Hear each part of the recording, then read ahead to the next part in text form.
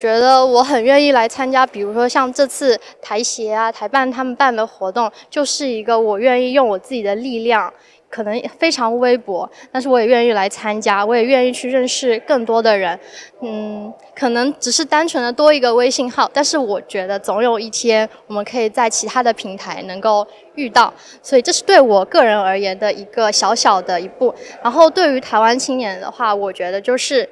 嗯，我们可以做出更多的像刚才嗯开幕式展现的那个影片一样。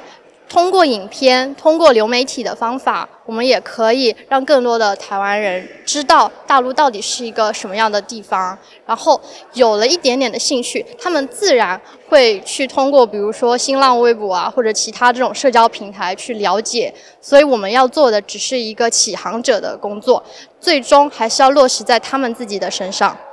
然后有很多人其实从台湾这边过来，他们都是第一次来大陆。通过这个分享会，他们也非常肺腑的去跟我们分享说，他从来不知道大陆已经发展成这个样子了。我觉得能让他们发现改变，发现每个城市都在进步，就已经是这个活动最大的意义了。而如何让带更多的人知道这个意义，可能就需要媒体来进行宣传了。所以，这是我们需要互相合作的一部一部分。像这样的台湾师生啊，呃，这种嘉年华活动，并不是只有像今天这一次。我们还其实还有经常去举办一些别的活动，我觉得这些都是很好的窗口，都可以进行宣传。我感受最多的地方应该是人文的改变，因为深圳呢，它一直在发展自己的经济，它作为一个经济特区，呃，在之前一直都是往金融这一块去发展，但是现在。